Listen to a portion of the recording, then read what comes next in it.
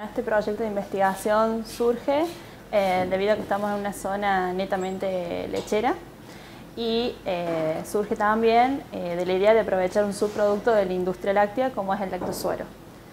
el lactosuero originalmente era destinado a desecho o para alimentación animal. Y lo que vamos a hacer es aprovechar principalmente las proteínas de este suero. El suero contiene el 20% de las proteínas totales de la leche. Ahora lo que yo hago es por medio de una hidrólisis eh, romper esas proteínas, obtener los péptidos y eh, luego agregarlos a un yogur para hacerlo funcional.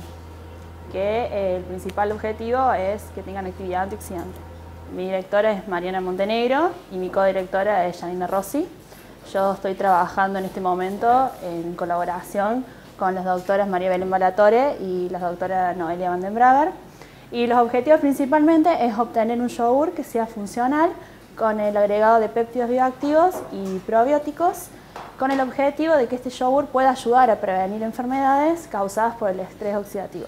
Creo que va a tener un impacto positivo, recordemos que es muy reciente, eh, pero creo que va a tener un impacto positivo en los dos ámbitos, tanto social como académico. Eh, bueno, yo estudié Ingeniería en Alimento en la UNBM y Mariana Montenegro me ofreció eh, realizar este doctorado y bueno, con mucha alegría acá estoy trabajando.